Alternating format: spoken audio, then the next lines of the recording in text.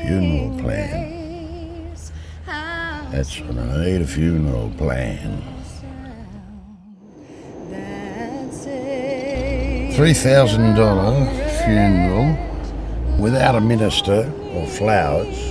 $3,000, which is only $27.95 a month.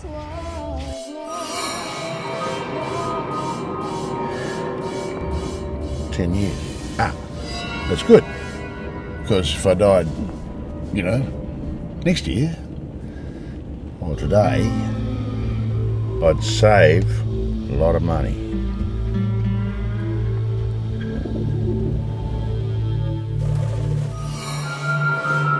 Mind you, if you just die on the street and you've got no money, they take you up to the crematorium. The dark hours of the full moon with howling wolves and just burn them up. She's got this routine. Got this routine, the little bugger.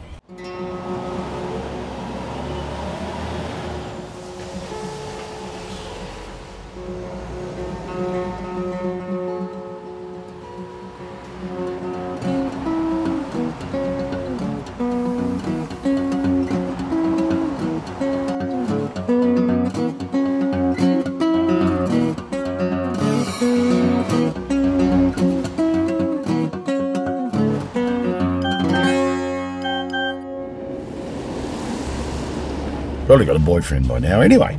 So the boyfriend will come around with a big red Maserati and just blast me through the window. Ah, fortunately I have a funeral plan.